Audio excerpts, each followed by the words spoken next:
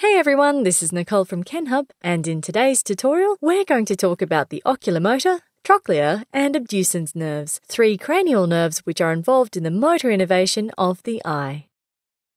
In this tutorial, we'll be looking at this image, which is an image of the left eye as seen from a left lateral view. In addition to the nerves, which are of course our main focus today, let's just point out a few structures that are of importance to us in this tutorial. Going right to left, we have the brainstem, then the internal carotid artery, followed by the optic nerve, the extraocular muscles of the eye, and the eye. And of course, in this tutorial, we'll be focusing mainly on these extraocular nerves here and the muscles that they innervate.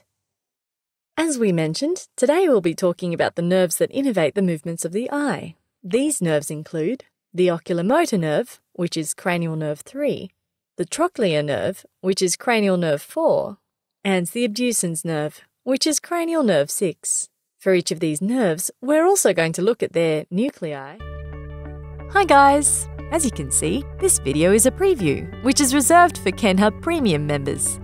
Why not become one today?